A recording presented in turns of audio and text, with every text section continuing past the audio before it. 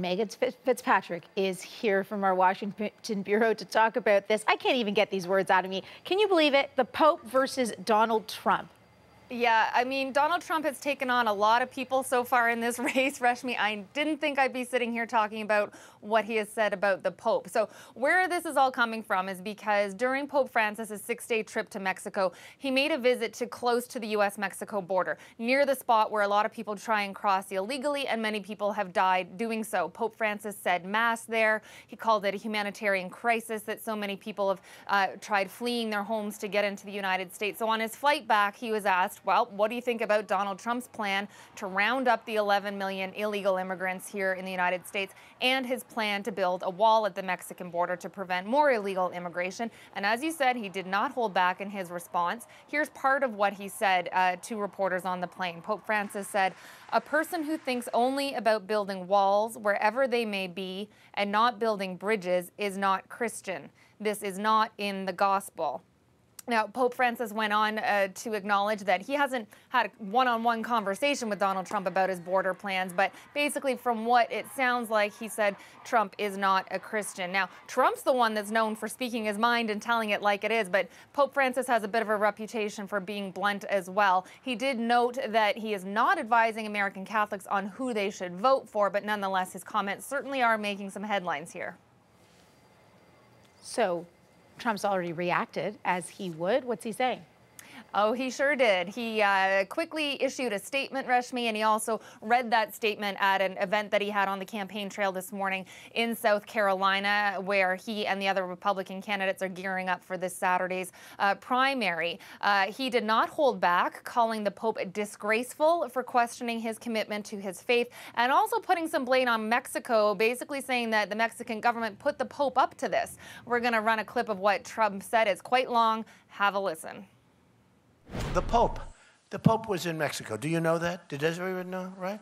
He said negative things about me because the Mexican government convinced him that Trump is not a good guy because I want to have a strong border. I want to stop illegal immigration. I want to stop people from being killed, like Kate in San Francisco, like Jamiel in Los Angeles, like the incredible woman veteran, 65 years old, who's raped, sodomized, and killed by an illegal immigrant, okay?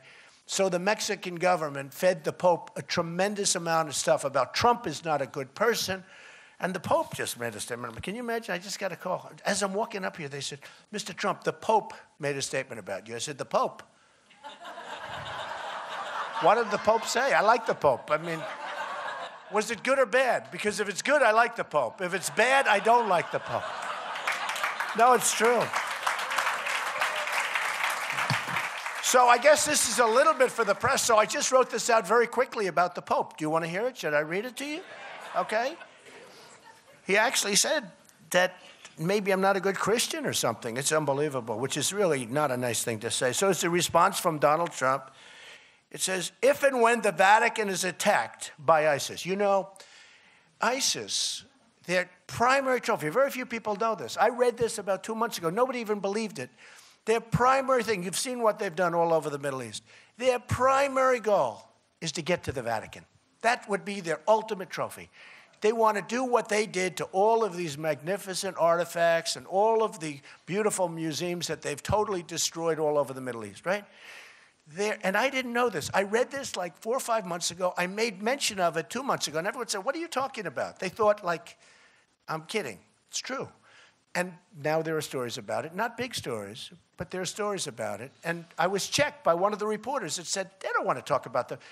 Then he called up and apologized. The big thing, they want to get to the Vatican. So, if and when the Vatican is attacked by ISIS, which, as everyone knows, is ISIS's ultimate trophy, I can promise you that the Pope would have only wished and prayed that Donald Trump would have been president. Because it's true. It's true. Because this would not have happened. ISIS would have been eradicated, unlike what is happening now with our all talk, no action politicians. That's what's happening now. So they met with the Pope, and they obviously got to the Pope, and they're telling him what a bad guy Donald Trump is. He doesn't know me. And, you know, etc. So let me, the Mexican government and its leadership has made many disparaging remarks about me to the Pope because they want to continue to rip off the United States, both on trade and at the border. That's what they're doing. They're ripping us off. And they understand that I am totally wise to them. And if I'm president, we'll stop it immediately, okay? Immediately.